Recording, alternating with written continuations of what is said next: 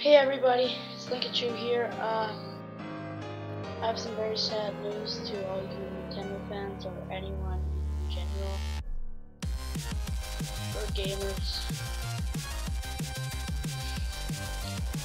Mr. Iwata has sadly passed away.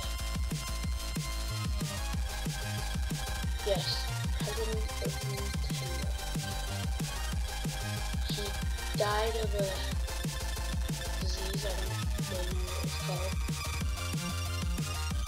he wasn't very old.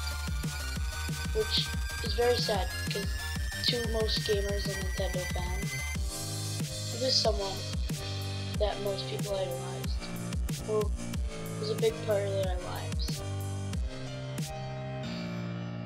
It just makes me so sad how someone could die so young. And someone who's has been so awesome in my childhood. Just makes me so sad.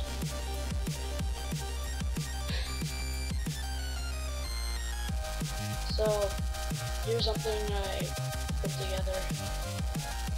Uh, take a look.